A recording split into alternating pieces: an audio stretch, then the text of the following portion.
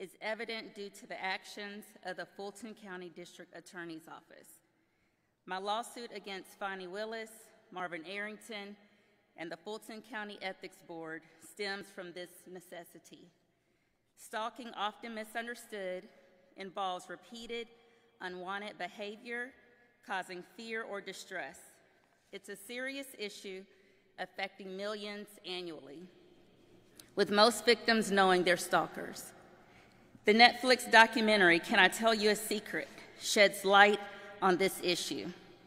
Stalking behaviors include harassment, intimidation, and even violence. Despite its prevalence, misconceptions persist, hindering support for victims. Stalkers exploit various tactics, from relentless calls to spreading rumors. They often target former partners and engage in something called proxy stalking, which involves third parties.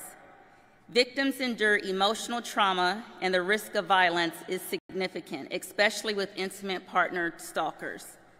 The failure to address stalking perpetuates the cycle of abuse, highlighting the importance of legal measures like the Prosecuting Attorney's Qualification Commission, or PAC.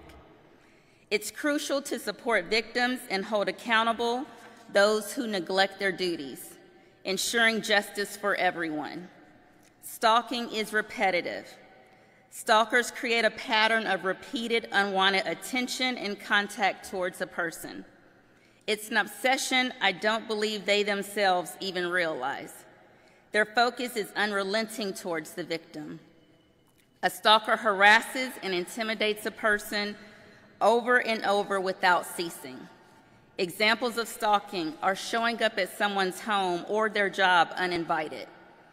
If Fani Willis investigated my case, she would have spoken to my secretary at the Emory Healthcare, who would have shared with her my stalker repeatedly came to my job to harass me.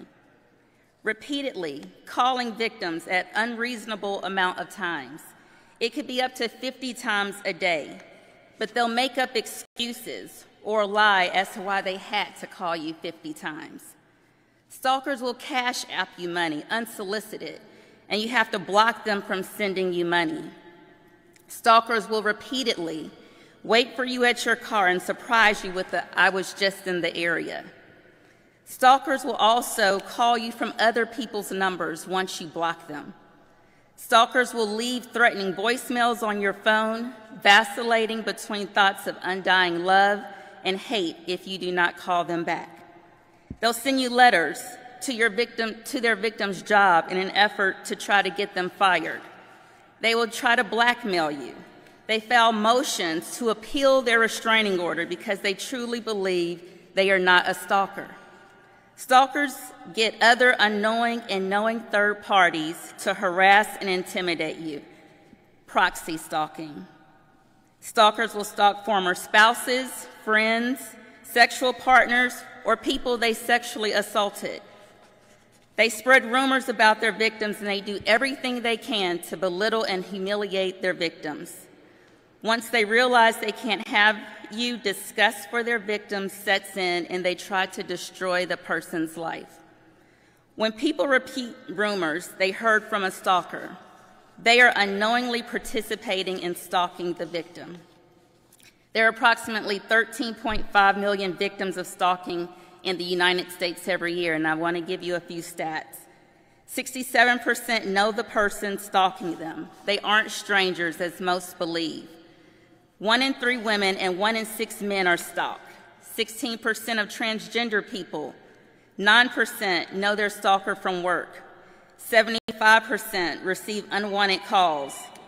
57% have their stalkers show up unexpectedly. 52% are surveillance, 40% are targeted by intimate partners. They threaten to share intimate images of their victims. 74% of former intimate stalkers report violence. One in five use weapons to threaten or harm their victims. It increases for intimate partners by threefold to make it a fatality. 22%